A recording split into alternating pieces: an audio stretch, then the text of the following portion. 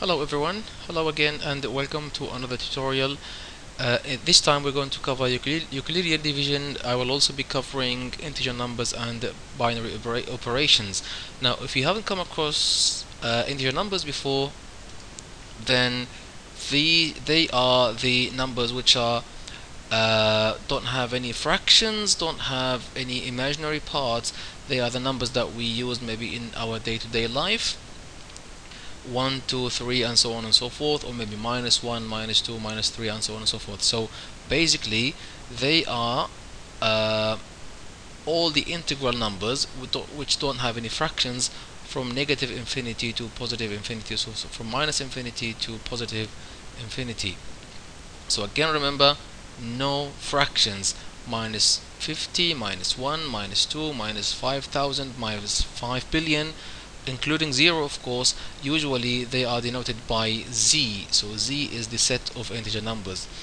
Uh, and some examples are minus 493 343 and so on and so forth of course including 0 um, for binary operations now binary operations are operations which take two inputs and create one output. So here we're speaking about the integer numbers. So in the context of integer numbers. Um, z as we said before minus infinity or negative infinity until 0 and then 1 2 3 until positive infinity. If we for example take two inputs like let's say for example a and b of course both are from z so both are integers then the output of any binary operation in our context will also belong to z will also be part of z some examples of binary operations are the addition, subtraction, multiplication, and division. Any two variables, a and b, maybe or x and y, e and f, m and n. All of these three, i.e. the two inputs and the output will belong to z. Remember that we speak about negative and positive integers here. So a and b, c, x, y, z, e, f, g, or m, n, and o. Any of these can be integers. So this, for example, can be, for example, 1 plus 5 equals 6 or it can be for example minus 1 uh, plus minus 5 which is which is minus 6 likewise for the subtraction for the multiplications so for subtraction mark say for example minus 1 minus um, minus 5 which is uh, this minus times minus will be positive. So this will be minus 1 plus 5 which is 4 I'm sure you're familiar with these things. Uh, this is just a quick overview. The same concept applies for multiplication and division. We'll come to division. This is quite important here because we're speaking about we're speaking about integer numbers. We'll come to that in a moment. But remember just to that division has uh, a certain importance in our context. Now uh, what is Euclidean division? We're speaking about integer divisions here or integer arithmetic in general. So whenever we divide any two numbers from z here, we want the output always to be integer. So for example, if I say 5, if I divide 5 by 2, normally that would be 2 and a half, yes, 2.5, I'm sorry, 2.5 or 2 and a half, 1 over 2. Yes, but in our context we don't want the fraction we just want the 2 and then we say uh, with remainder 1 yes? So we don't want the fraction we want to keep integer integral numbers integer numbers and then we retrieve the or we keep the remainder. This, this is what Euclidean division is about. It's the process of dividing two integers and producing a quotient and a remainder. So here the quotient is 2 and the remainder is 1 because times 2 times 2 is 4 4 plus 1 is actually 5 as you can see. So in general given any two integers remember from the set of integers now including 0 although division by 0 as we know is not possible so we exclude 0 from being uh, a divisor given two integers a the dividend b the divisor such that of course b doesn't equal 0 so b cannot be 0 there are unique integers q and r. Q is the quotient and r is the remainder such that a will equal bq plus r b times q plus r. So in our context here it would be 2 times 2 plus 1 so b I'm sorry q is 2 and r is 1 so 5 equals 5 equals 2 times 2 plus 1 yes 2 times 4 is 4 2 times 4 is 4 and 4 plus 1 is actually 5 as, as you know.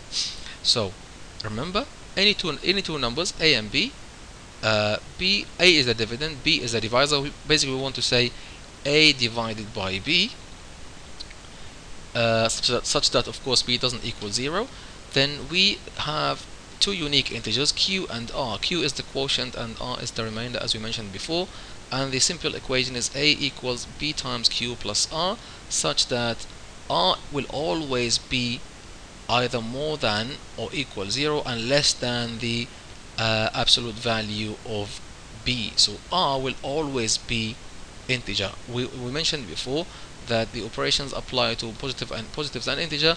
In this simple equation here a can be negative b can be negative q can be negative but the only integer that cannot be negative in this equation is r r is always either 0 or more. It cannot be negative. Remember that r will never be negative in our context. If we divide a by, by b now then then we get r and q as follows as we said as we mentioned before. A equals b times q plus r. I just mentioned I just uh, ignored uh, the uh, cross sign there for the multiplication but you know what that means. Maybe some people use star rather than uh, uh, the x. That's not important now as long as we understand the concept. Yes? Any integer a if we divide it by any integer uh, b then we will always have two unique integers q and r. Q is the quotient. The quotient is the number that we can multiply b with and or multiply b multiply b by and then r is the quotient that we can add it to the result of the multiplication to get a.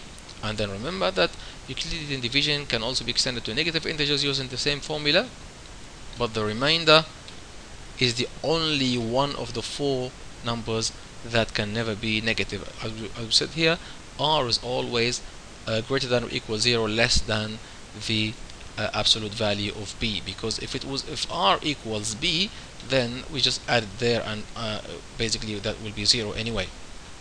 Now just to have an intuitive example by the way the material I'm using here most of it is from Wikipedia so you can find Wikipedia articles on these things and you will find these examples there.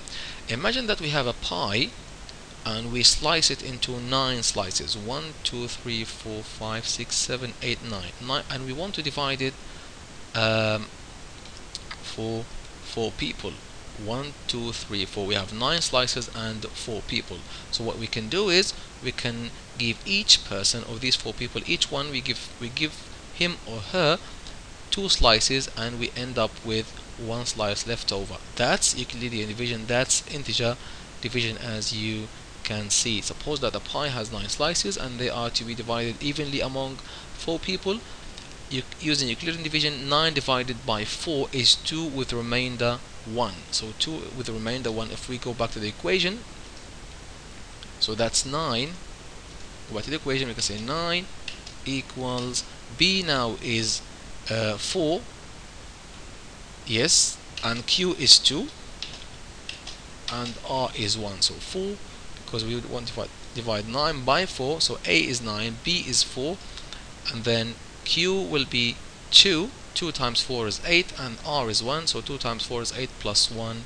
is 9 going back to the same example and here some examples. Remember the equation now. It's as you can see on the screen a equals um, a, equals b times q plus r. So for the 9 example for the slice example we have 9 equals 4 times 2 plus 1 and for negative numbers we can say for example minus 11 if we divide minus 11 by 4 so if we say for example um, minus 11 divided by 4 then what do we get?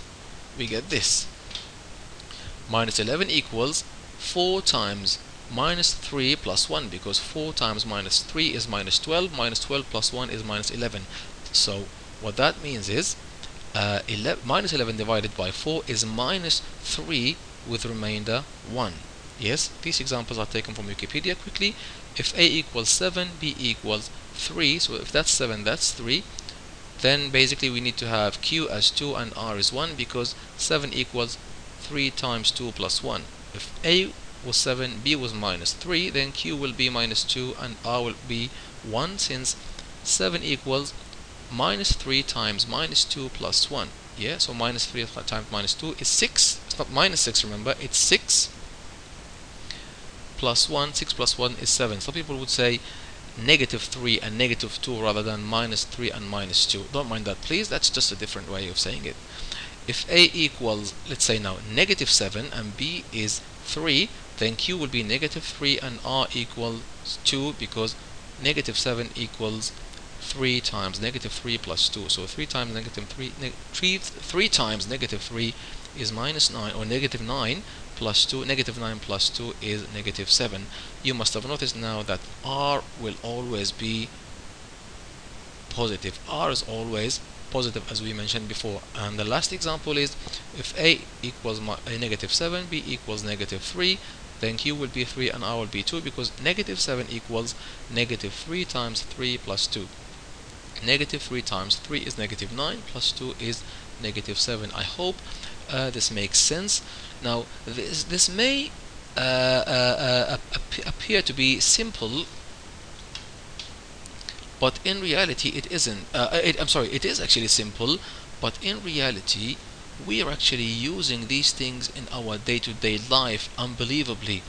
For example in, in encryption you must have heard of the RSA encryption algorithm, this idea of uh, um, um, integer numbers, integer division, the Euclidean division is at the heart of RSA and encryption algorithms maybe in general and especially when we come to computing the greatest common divisor, the divisor, the GCD, then this concept is at the heart of that as we will see in one of our upcoming videos. Thanks again for watching and I'll see you next time.